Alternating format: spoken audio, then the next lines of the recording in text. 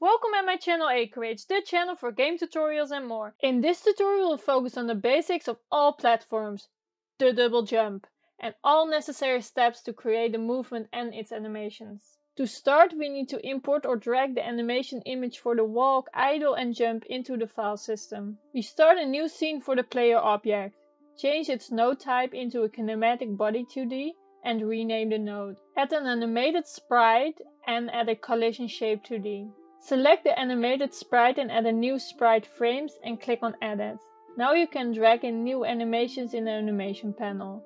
Drag in the jump sprite from the file system in the animation frame panel and create a new animation for the walk and drag in the two sprites for the walking animation and create a separate animation for the idle with only the sprite for the idle movement. Rename them all and now you should have three different animations to work with. Select the collision shape 2D and add a rectangle shape. Adjust the size of the blue box to fit with the sprite. Save the scene and create a new 2D scene for the main level. Rename the node and add a static body 2D node with a sprite and a collision shape 2D. Before we can make the platform we need to add a PNG image for the platform in the file manager and we will drag this PNG into the texture tab of the sprite. Resize the sprite Edit the rectangle shape as a collision and resize to fit. Link the player object scene in the level. Make it local by right mouse clicking and select make local. So now we can also change the player object into the main scene. Attach a script on the player object. To make movement possible we need two vector 2 position values for motion and up.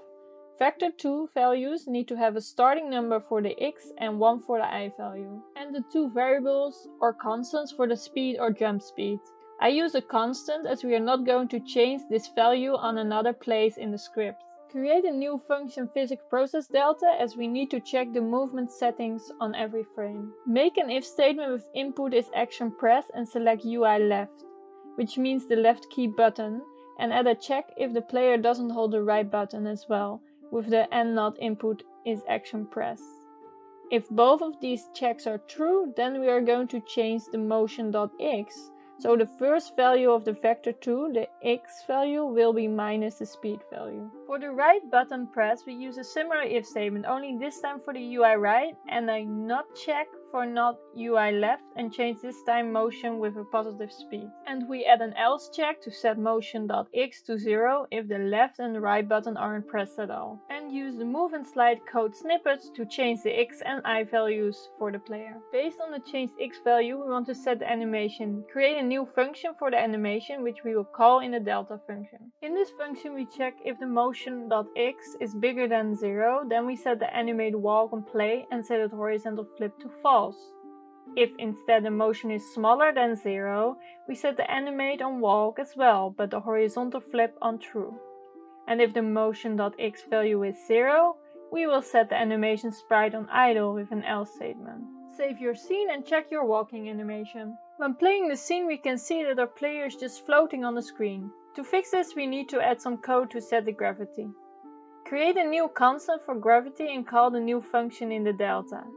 In this new function we will use the inbuilt check is underscore on underscore floor to check if the player is on the platform. If so, we will set the motion.y to 0 and if not, we set the motion.y plus the value of the gravity so that the player will be dragged downwards.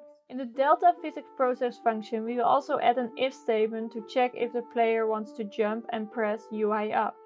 In that case, we also want to check if it already jumped before.